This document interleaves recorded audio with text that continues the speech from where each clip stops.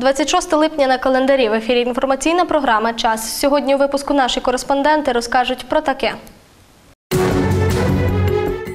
Повторний розгляд справи, допит свідків, військові навчання резервістів та військовозобов'язаних на Закарпатті, фрукти та ягоди, якість та ціна, водоспад здоров'я, туристична родзинка.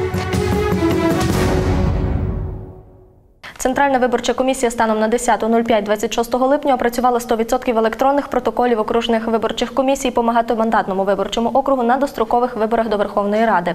Згідно з інформацією, лідерами парламентських виборів є партія Слуга народу, яка набирає 43,16%, партія Опозиційна платформа за життя 13,5%, партія Всеукраїнське об'єднання Батьківщина 8,18%, партія Європейська солідарність 8,1%, партія Голос 5,82%. Інші партії не долають 5% бар'єр, необхідний для проходу до складу українського парламенту. Наступне повідомлення у продовження теми. Під час голосування за кандидатів у депутати по виборчому округу номер 69 були помічені багаточисленні порушення, тож одразу після виборів було вирішено провести перерахунок голосів. Про це заявляють у штабі одного з кандидатів у депутати по мажоритарному округу номер 69. Кандидат у депутати Едгар Токар зауважує, що прохання про перерахунок подали ще у понеділок о 4 ранку. Однак члени комісії більшістю голосів це рішення не підтримали і лише через день перерахунок вирішили провести. Люди звертаються через Фейсбук, через меседжер, е, пишуть, надають нам багато відео, доказів, що е, вибори відбулись нечесно, несправедливо. Е, Люди вже настроєні на справедливість, на чесні вибори. Перший ініціював перерахунок це я і моя команда. Мій юрист звернувся, довірена особа звернулася. І чим скоріше ми його почнемо, чим скоріше завершимо, то буде тим краще для всіх виборців нашого 69-го округу. І ми маємо показати, що вибори мають відбуватися чесно. Тим часом кандидат у депутати Віктор Балога на своїй сторінці у соцмережі Facebook повідомив. Кандидат від провладної партії не має жодного бажання в демократичний спосіб перевірити результати виборів, а тому вирішив зірвати цей процес. Хлопці не стали нічого вигадувати і пішли перевіреним шляхом, фабрикують кримінальні справи. В результаті, за заявою кандидата від слуги народу, суд за зверненням поліції дозволив вилучити списки виборців. Як результат, повний перерахунок голосів може бути зірвано. Виходить, що я, як переможець виборів, хочу підтвердити їх результат через повний перерахунок. А мій опонент, який їх програв, цей процес зриває. Переконаний, що будь-які інші способи підтвердити результат виборів, окрім як повний перерахунок голосів, мають на меті за будь-що продавити потрібний владі результат.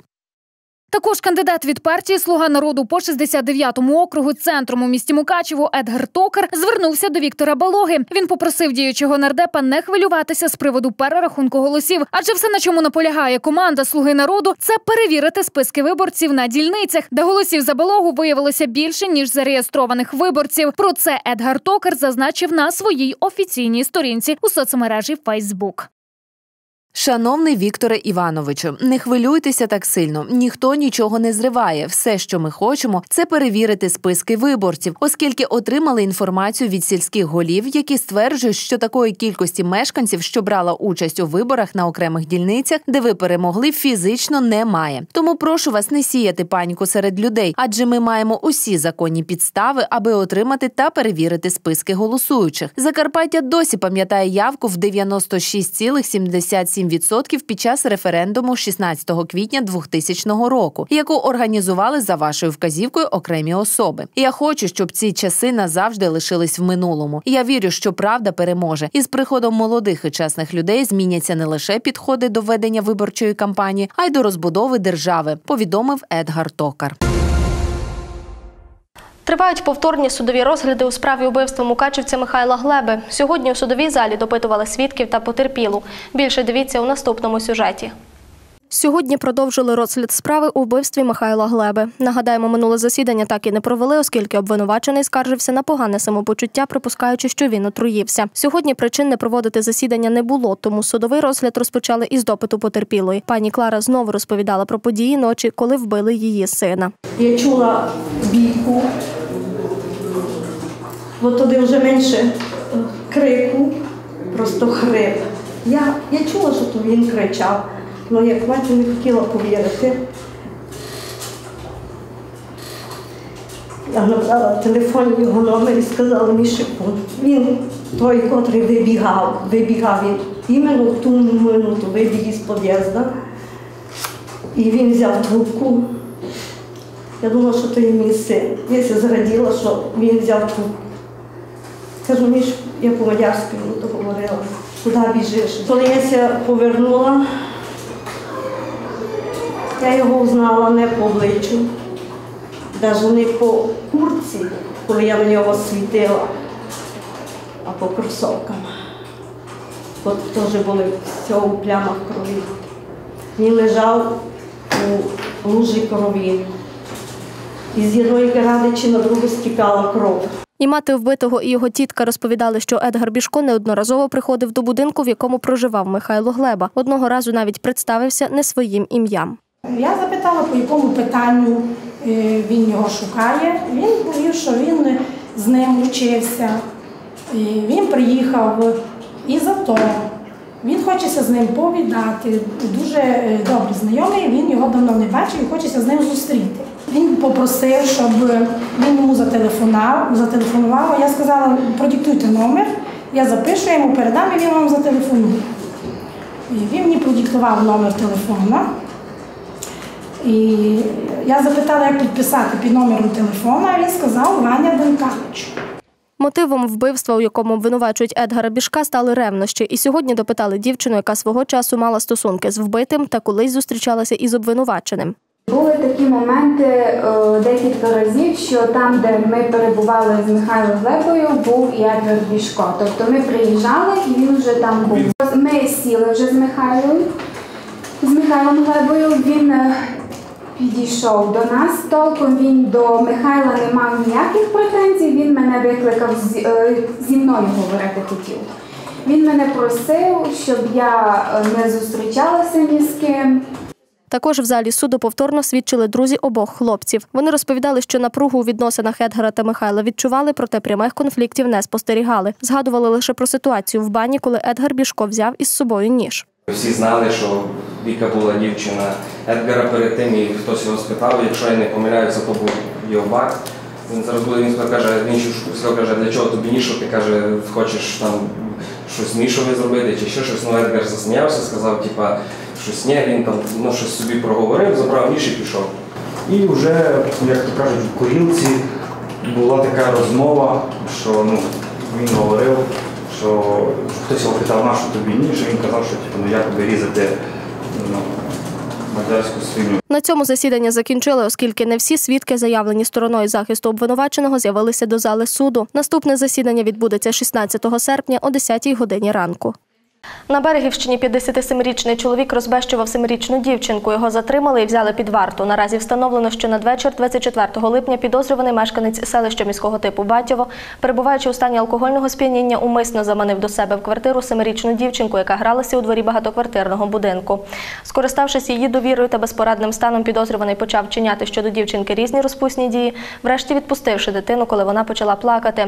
Наразі триває подальше досудове розслідування за скоєне відповідно до санкцій частини 2 статті 156 Кримінального кодексу України передбачене покарання у вигляді позбавлення волі на строк від 5 до 8 років. На КПП Лужанка Берег Шурань службовий собака виявив цигаркову контрабанду. Випадок трапився на КПП Лужанка Берег Шурань, де в мікроавтобусі було знайдено контрабандні цигарки вартістю 11 мільйонів форентів. Прикордонники побачили на митному пості мікроавтобус із пустим причепом трейлером.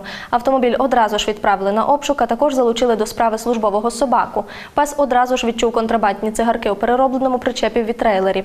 Після того, як прикордонники демонтували дах трейлеру, було виявлено 8,5 тисяч пачок сигарет вартістю 11 мільйонів форентів. Поліція Угорщини вже порушила кримінальне провадження проти водія мікроавтобуса. Через аварію на очисних спорудах в Ужгороді брудні стоки можуть вилитись в Уж. Вийшло з ладу обладнання первинного відстійника каналізаційних очисних споруд водоканалу. Вихід із ладу одного з чотирьох наявних відстійників може призвести до погіршення якості очистки стоків і як наслідок скиду в річку недостатньо очищених вод. Чи є вихід із ситуації, мої колеги розкажуть. Критичному стані, а є в аварійному стані. Володимир Бабедорич говорить про очисні споруди в Ужгороді, які не ремонтували близько 50 років. Тож один із чотирьох відстійників вийшов з ладу. За словами директора Ужгородського водоканалу Станіслава Карташова, металоконструкція повністю зношена. На щастя, внаслідок аварії нечистоти в річку Уж не потрапили. Одним словом, згнив. Залишилися, лише- залиши- залишилися лише певні елементи конструкції. Зараз ми по, наявних у нас шаблон, шаблонах е, вже розпочали ремонти е, відновлення. Е, Критичної ситуації на сьогоднішній момент немає, оскільки об'єм стоків, який надходить зараз на очні споруди, трошки менше в зв'язку з літнім періодом. Люди роз'їхалися, нема такого спо- водоспоживання. Споруди працюють не в штатному режимі, трошки в напруженому, але, ми доводимо концентрації до гранично допустимих по скиду. На місці також працювали комісії з техногенно-екологічної безпеки та надзвичайних ситуацій. На ліквідацію наслідків аварії міська рада виділила 100 тисяч гривень. Потім ми виникає питання, чому наші е, е, каналізаційні мережі розмірами від е, 300 мм до 1,5 метра, чому вони є засилені. Тому це зараз проводиться аварійні роботи. Власними силами комунальне підприємство її ремонтує. Ну, частково залучає підрядну організацію. Вартість робіт біля 100 тисяч гривень. Сьогодні ми ці кошти передбачили. і Роботи будуть на протязі там, 10 днів виконані. Наявна система очисних споруд єдина в місті, і від'єднати первинний та вторинний цикли неможливо. Натомість Ужгородський водоканал розробив проект будівництва нової лінії очисних споруд. Проект масштабний. Вартість його реалізації 18 мільйонів євро. І лише після того, як ця нова лінія буде побудована, термін будівництва близько 4 років, і запущена в роботу, от тоді ці очисні споруди можна виводити з експлуатації, е, одну половину з них реконструювати. І запускати потім е, додатково в роботу. Тоді місто буде мати очисні споруди потужністю 75 тисяч метрів кубічних на добу очистки стоків. Е, можна буде займатися приєднанням найближчих сіл по прийому стоків, розвитку внутрішніх територій. Проект на стадії експертизи, за словами Станіслава Карташова, на позитивний висновок очікують в кінці серпня, на початку вересня. Кошти сподіваються отримати від обласного та державного бюджетів, зокрема й від фондів екології. І якщо буде фінансування, зможуть оголосити тендер. Тож ймовірно, на реалізацію проекту будуть залучені міжнародні компанії. В Ужгороді виявили трьох домініканців із простроченою візою. На них чекає депортація. Працівниками Ужгородського міського відділу міграційної служби виявлено трьох мігрантів із паспортами громадян Домініканської республіки. За словами іноземців, в Ужгороді вони опинилися із метою туризму. В Україну заїхали, перетнувши державний кордон із боку Російської Федерації на транзитній візі. Однак, як з'ясувалося у ході перевірки, термін дії візи закінчився ще 15 липня. Порушників міграційного законодавства оштрафували на 5 тисяч 100 гривень. Прийнято рішення про їхнє примусове повернення до країни походження. У підвалі 42-річного мешканця Іршавщини полісмени виявили 10 фольгових згортків з метамфетаміном та згорток із марихуаною. Як розповідають у поліції Закарпаття, мешканця села Дунковиця Іршавського району підозрюють у зберіганні наркотичних засобів із метою їх збуту. Всі речовини правоохоронці вилучили сьогодні під час санкціонованого обшуку помешкання. Наразі чоловік затриманий та поміщений до ізолятора тимчасового тримання. Правоохоронці відкрили провадження за частиною 2 статті 307 Кримінального кодексу України. Мешканцю Іршавщини загрожує покарання у вигляді позбавлення волі на строк від 6 до 10 років із конфіскацією майна. Слідство у справі триває. У ході реформи інституту дільничних поліцейських уже у 2020 році в кожній ОТГ буде свій дільничий з автівкою, зброєю та зарплатою від 13 тисяч гривень. Про це повідомив Павло Рябоконь, радник із муніципальних послуг Закарпатського центру розвитку місцевого самоврядування програми «ЮЛЕЙТ» із Європою. За даними Нацполіції, на сьогодні в країні є потреба 146 тисяч таких дільничних. Суть реформи у тому, що цей офіцер буде закріплений суто за своєю громадою. Він обслуговуватиме від 3 до 5 тисяч осіб і вирішуватиме суто їхні правові питання. Механізм реформи передбачає, що громади навіть зможуть шукати собі кандидатів на ці посади, розповів Рябоконь. Нацполіція платитиме офіцеру заробітну плату. Це сума від 13 тисяч гривень. За словами Рябоконя, впроваджуватиметься реформа у 2020 році. Наразі всі закарпатські ОТГ дали заявки і готові надати та облаштувати приміщення для дільничних поліцейських. На Закарпатті пройдуть військові навчання резервістів та військовозобов'язаних. Менше місяця навчатимуть чоловіків від 18 до 60 років, як правильно тримати зброю. Навчання цього разу відбудуться в області. Мої колеги розкажуть більше. Військовозобов'язаних закарпатців та резервістів кличуть на масштабні збори територіальної оборони. Навчання стартують вже восени та триватимуть 10 днів. Це для нас Не перший захід, який ми проводимо, починаючи з 15-го року навчання. Так ми провели в 15-му році з загоном оборони на базі Хуського е, району. Такі е, збори будуть проведені вперше в межах оперативного командування захід. Частина підрозділів буде формуватися е, на ділянках місцевості шляхом таборування. І частина підрозділів буде, е, буде формуватися на базі е, інфраструктури районів. Військові наголошують, усі, хто пройде навчання, примусово в АТО відправляти не будуть, але в разі оголошення воєнного стану підрозділи територіальної оборони мають бути готові до охорони стратегічних об'єктів області задля збереження миру в краї. Під час навчань обіцяють навчити вправно поводитись зброєю та гідно нести службу. Ніхто нікуди їхати не планує, ніхто нікуди нікого відправляти не планує, щоб не було таких думок у деяких, що нас зберуть і кудись відправлять. Тому цього боятися не потрібно. Е, Нами які заходи виконуються? Обласним військовим комісаріатом та районними військовими комісаріатами направлені повідомлення в місцеві органи влади, керівникам підприємств, установ, включаючи навчальні заклади. Учасникам навчань обіцяють повноцінне харчування, збереження середньомісячної зарплати, а ще добові. Якщо військовозобов'язаний або резервіст не працевлаштований, то йому передбачено також цією постановою е, одноразова виплата, е, виходячи із прожиткового мінімуму, е, пропорційно дням проведеним на зборах. Стосовно резервістів, крім е, цих виплат, що я назвав, е, резервісти отримують е, додаткове грошове забезпечення. Е, Це є таким мотиваційним чинником. Обласні адміністрації наголошують на доцільності таких військових навчань. Ми всі знаємо, що Закарпаття це особлива область, яка межує із е, чотирма країнами Євросоюзу. І так сталося, що е, Закарпаття розглядають як поле для своєї діяльності іноземні е, спецслужби. Підпал, підрив офісу КМКС це тільки, можна сказати, верхівка айсбергу їхньої діяльності. Тому у разі оголошення воєнного стану Закарпаття зобов'язане просто діяти Заняття будуть проходити в Хуському, Виноградівському, Мукачівському та Ужгородському районах. Залучатимуть на збори військовозобов'язаних від 18 до 60 років, які перебувають на військовому обліку та придатні за станом здоров'я. У Мукачеві з каналізаційного колектора врятували собак. Чотирилапий потрапив у пастку неподалік споруди УТОС. Собаку, який впав у відкритий каналізаційний колектор, випадково виявив мешканець Мукачева. Він викликав працівників ММКП Центр контролю за тваринами, які і визволили тварину із бетонної пастки. У Закарпатській області за 6 місяців поточного року зареєстрували вже 40 випадків захворювання на менінгококову інфекцію, яка практично дорівнює показнику за весь минулий рік. Про це повідомила прес-служба Центру громадського здоров'я МОЗ України у відповіді на запит кореспондента. За даними центру, із початку поточного року в Закарпатській області зафіксовано 40 випадків захворювання на менінгококову інфекцію, із них 31 захворювання серед дітей. Це близько чверті всіх випадків, зафіксованих в Україні. Минулого року показник захворюваності на Закарпатті склав 42 випадки, 36 серед дітей. Нагадаємо, менінгококова інфекція це інфекційна хвороба, яка викликається менінгококом. Джерелом збутника інфекції є хворий чи людина бактеріоносій.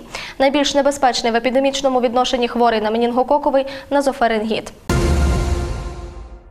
Кавуни на першому місці, а дині на другому. Такий рейтинг найулюбленіших літніх смаколиків. Хоча традиційно пік популярності на ці фрукти та ягоди припадає на серпень, проте й зараз закарпатці залюбки їх купують. Надають перевагу все ж не стихійним пунктам продажу на узбіччях доріг, а на продовольчих ринках та у магазинах, де перевіряють їх якість. Зокрема, на вміст нітратів, нітритів та інших небезпечних для здоров'я речовин. Що по чим в Ужгороді дізнавалася Ірина Ковальчук. Кавуни та дині найпопулярніші літні фрукти та ягоди. А є попит, значить є і пропозиція. Тому на ринках, у магазинах всі прилавки завалені цими літніми смаколиками. Наприклад, на Ужгородському центральному ринку на площі Корятовича кавун можна придбати за 8 гривень за кіло, а деньку за 20. Проте люди кажуть, що можна придбати і дешевше. Ужгородці надають перевагу кавунам. Дині на другому місці за популярністю. Кажуть, це не тільки смачно, а й корисно. Кожен день беремо кавуни. Досить приємні, ніяких немає таких якихось побічних дій, про котрі говорять. Так що ми задоволені. Е, По-перше, що смакує, по-друге, щоб менше їсти хліба, І плотної їжі зараз хочеться просто промити кишки собі. Він корисний. Вимиває камінці, пісочок. Брали вже е, кавун і диню, в Дасторі, медова диня, прекрасна. Дитина в день зі мною з'їдає пів кілограма, несмотря на те, що вона алергетик, але тим не менше диня гарної якості. Якось я звернулася на базарі до е, значить, органів, які перевіряють. І мені було цікаво, так як в мене дитина алергетик. Наприклад, я куплю диню на базарі, а вдруг вона оказується з більшим змістом. Нейтратів, чи є в них препарат, який вимірює. Так мені дали згоду, що так він є, і його якби вимірюють. Продавці центрального продовольчого ринку запевнили кавуни та дині з Херсону. Самі їх їдять, тому кажуть, це цілком безпечно. Крім того, якість продукції ретельно перевіряється фахівцями перед тим, як попасти на прилавки. Кожну партію ми перевіряємо. Перевіряється мука, чи йде воно все бере, перевіряється тут, бо нам так ніхто не дозволить торгувати. Тобто всі норми. Лабораторія є, ми все провірили. Нітратоміри, все як має бути. Можете бути безпечні, бо вся е, овочева продукція вся провірена. Без ніяких цих. І немає ніяких тих. Тим більше що херсонські кавуни і все є дуже добре. Навіть брали від нас, відносили на експертизу, і все було нормально. Також продавці діляться секретами, як правильно вибрати фрукт чи ягоду, аби не прогадати. Має бути великий оцей кружочок. Якщо максимально великий, то він буде максимально смачний і корисний. А деньку кажуть, що має дуже добре пахнути. Кавунчик, щоб дзвінкий був. Тоді він тепер більш спілий буде. Якщо глухий звук, тоді ще чуть-чуть трибало йому. Не буде такий. Бачите, це буде дуже файний солодкий. Ну, я розрізаю по просьбі, може побачити, може попробувати людина, який хоче такий. Вони, коли хороша партія, коли зрілі, вони вже всі хороші. Там нема такого, щоб не дозрілі. Більше попадається зараз вже перезрілі. Хоча зазвичай пік популярності на кавуни та дині припадає на серпень, проте цього року закарпатці вже у липні масово почали їх смакувати. Водоспад здоров'я відкрили у місті Рахів на території Карпатського біосферного заповіднику. Джерело має стати ще однією родзинкою цього мальовничого краю та приваблювати ще більше туристів. Ідею, яка з'явилася досить давно, втілили у життя за два місяці та облагородили місце для того, аби попити джерельної водички і при бажанні навіть скупатися. Тему продовжать мої колеги.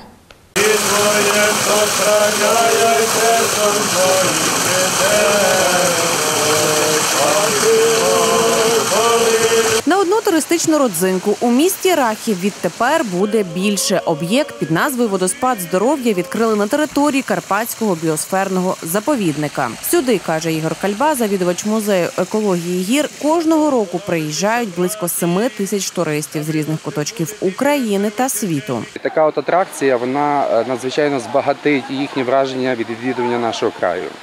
Раніше е, це місце відвідували переважно місцеві, оскільки тут є дуже гарне джерело, так називаємо з-під явора. Це дуже е, смачна вода, яку е, люди, навіть місцеві, наші працівники так само забирають собі додому.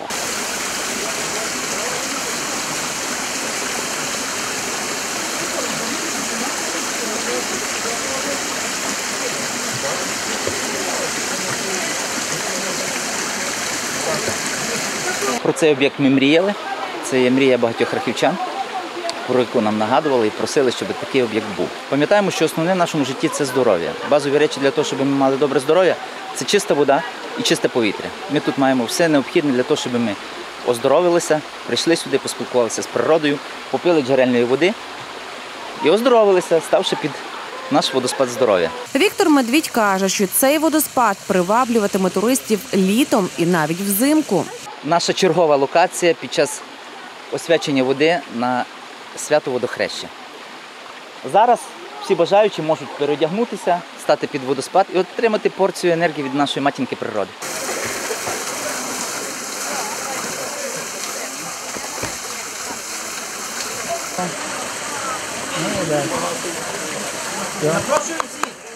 Отримати свою порцію природної енергії вирішив і пан Михайло.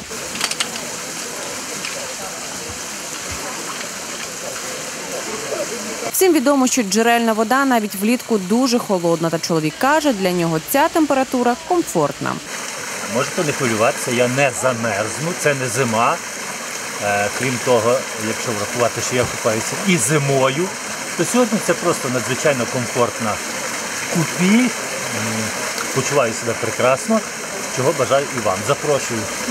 Ініціатори такої туристичної родзинки переконані, ті, хто приїде у місто Рахів, обов'язково повинні спробувати джерельної води та помилуватись неймовірними краєвидами. Така атракція вона дозволяє е, продвинути ідею е, оздоровлення на території нашого заповідника, тобто люди будуть загартовуватися, більше проводити часу на природі своєю сім'єю е, і. Відповідно, вони також е, захочуть відвідати нашу територію заповідника і власне наш музей. Об'єкт облагородили за два місяці, а от радувати місцевих та туристів він буде набагато довше. Переконані у Карпатському біосферному заповіднику. Під час розкопок в Ужгородському замку виявили коштовну знахідку. Археологи знайшли поховання шляхтича 17 століття під руїнами старої римокатолицької церкви святого Юрія в Ужгороді. Поряд лежали мечі, золоті печатки, кільця та одяг. Розкопки ведуться на території Ужгородського замку на вулиці Капітульні в центрі міста. Ми разом зі студентами заглибилися на 2 метри, каже археолог 36-річний Володимир Можес. Знайшли поховання. Якщо їх дослідимо, доведемо багато чого нового в історії Закарпаття. Уже можна стверджувати, що римокатолицьку церкву звели до замку, а не навпаки. Знайдена шабля датується початком 17 століття. Шаблю клали у могилу знатної людини. Поряд лежала така ж, тільки зламана. Клали, коли зі смертю чоловіка перервався шляхетський рід. Знахідки відновлять і передадуть археологічному музею. Аномальна спека в Західній Європі у четвер досягла нового піку. У кількох країнах було перевищено температурні рекорди.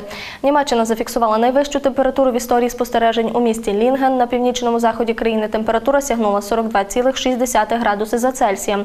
У Парижі термометри в четвер також показували до 42,6 градуса, повідомила Національна служба погоди Метео Френц. Це найвища температура, яка коли-небудь зафіксована у французькій столиці. Бельгія також зафіксувала температурний рекорд 40,7 градуса. У Нідерландах вперше з моменту початку ведення записів температура сягнула вище 40 градусів. Велика Британія також очікувала зафіксувати найвищу температуру із прогнозами до 39 градусів, але врешті-решт вона піднялася до 38,1 градуса. Це друга найвища температура, зафіксована у липні. Відпочинковий сезон у самому розпалі, так само як сезон відпусток. Українці масово їдуть відпочивати на моря, не оминають увагою і Закарпатське море, а саме солені озера у Солотвині.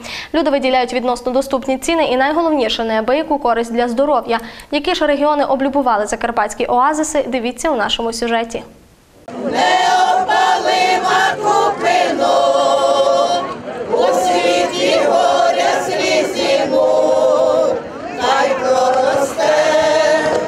Максимум задоволення та позитивних емоцій. Маленькому Михайлу для гарного відпочинку багато не потрібно, так само як і для більшості відпочивальників на солених озорах у Солотвині Тячівського району. Просто купатися. Ну і як вони співають. Відпочивальники зі стажем виділяють користь від чорної лікувальної глини, якою обмащуються тут з голови до п'ят. Так само добре на організм впливає і сама солена вода в озері. Саме заради оздоровлення люди щороку долають тисячі кілометрів. Ми вже четвертий рік тут відпочиваємо. То нам е, дуже допомагає від того, що суглоби ламає кості, радикуліти, поліатрити. Е, Оце все нам дуже допомагає. Ми так собі вже запланували, що кожен рік, коли в мене відпустка, ми стараємося їхати з чоловіком. Він йому не дуже, йому того не треба, а мені це дуже допомагає. Коли я не їздила ще, я цілу зиму мучилася, все ламало кості. А відколи ми почали їздити, вже зима проходить легше. Чоловік пані Марії каже, що й сам відчув позитивний вплив на своє здоров'я, але в першу чергу на здоров'я своєї дружини. Не відую, бо лягає спати здоровою і встає здоровою. Тобто, а раніше було, що як лягала спати, то вночі я мусив ще й масажі якісь робити. Подружжя приїздить сюди на 6 днів. кажуть, цього абсолютно вистачає для профілактики захворювань в холодні пори року. кажуть, у воді довго не сидять хвилин 15-20, а потім гріються на сонечко. У розпал сезону приїхала на відпочинок і пані Інна. Ну, у нас багато віддихають односельчан тут не один рік. Я тут перший рік, дуже подобається. Чоловікова мама щороку їздить, відпочиває. Все гарно, супер, задоволені. Перший раз і ще не, не останній, напевно, буде. Для відпочиваючих на території солених озер є всі зручності. З кожним роком туристів все більше. Відповідно, з кожним роком все більше стає і турбаз. Дуже багато років назад, років 15 назад, почало все це строїтись і на даний час дуже багато баз. Навіть я не знаю, яка кількість. В основному приїжджають зі Львова, з Рівного, із Сум приїжджали, приїжджали із е, Вінниці, приїжджали з багатьох таких, з України багатьох приїжджають. Із Чехії були, приїжджали за кордону, із Словакії. Багато відпочиваючих тут із Закарпаття. Зокрема, Катерина приїхала з дітками, аби тих оздоровити. В принципі, знайшли інформацію в інтернеті. Приїхали, очікували, що не буде так, але вийшло ліпше, ніж ми ожидали. Приїхали заради дітей, бо треба їх оздоровити перед школою. Хворенькі постійно хворіють, а тут на море дорого, а тут дешевше. Ми відпочиваємо сьогодні вже третій день. Нам дуже полюбилося. Ми теж побачили оголошення в інтернеті. Нас е, полюбилася нам ціна. Е, приїхали, полюбилися номера. Тут є кухня, є душ, всі умови хороші. Незважаючи на те, що ще нещодавно води у озерах ставало все менше, наразі вона знову прибуває. А отже, купатися туристам є де. Окрім того, на території солених озер сьогодні чимало турбаз з власними басейнами та маленькими аквапарками. Відпочивати тут можна на будь-який смак та гаманець. Це останнє повідомлення випуску. Вже завтра дивіться про таке. Спілкування з журналістами пластуни у редакції телеканалу. Літня небезпека. Стихійний борщівник. Наразі у мене все. Бажаю вам вдалих вихідних і бережіть себе. Залишайтесь у курсі всіх подій разом з нашим телеканалом.